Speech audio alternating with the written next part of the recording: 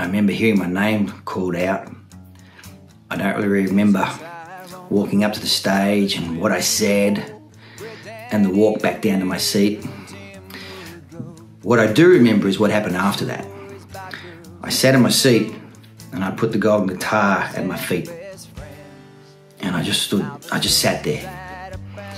And my, my manager at the time, Graham, leaned over and he said, Hey mate, do you realise your life just changed? And it was this huge light bulb moment. And this thought just went straight through my head. And the thought was so clear, crystal clear, even to this day.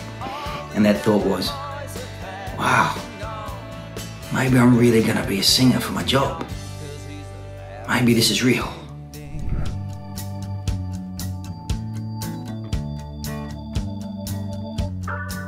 To this day, that night where we won our first gold guitar, and then um, to win uh, three more after that, that night just one of the most amazing nights of our, nights of our life. We'll never forget it.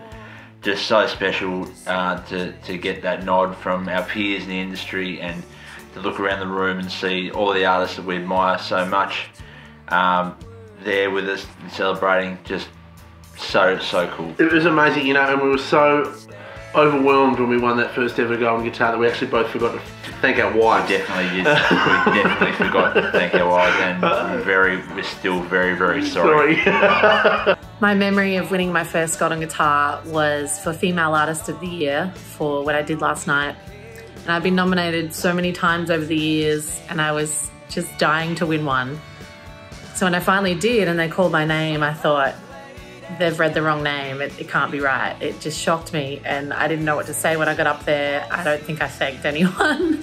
it was pretty embarrassing, but um, I was beyond happy, and it just totally made my career to that point. It was very, very cool.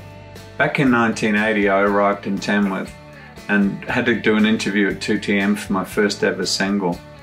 And after the interview was finished, they gave me tickets for the awards, and I thought, wow, this is great, you know. So I arrived at the at the big circus tent because in those days they didn't announce the finalists in advance, and they they're taking me right, taking us right to the front. And I finished up three rows from the front, and I thought, wow, I don't know how we got these tickets. They're great. Anyway, 15 minutes later they were calling my name and I'd won um, my first golden guitar for King of the Rodeo for Best New Talent.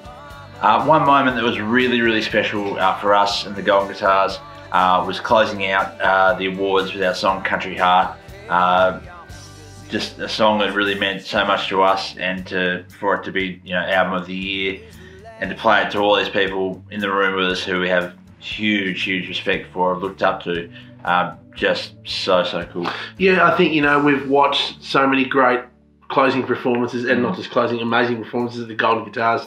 To be able to do that with Brody and Casey, who we started this journey with, and also members from that incredible house band, that was really special to us. And um, let's hope one day we get to do something like that again. But I think that for us was is definitely a favourite.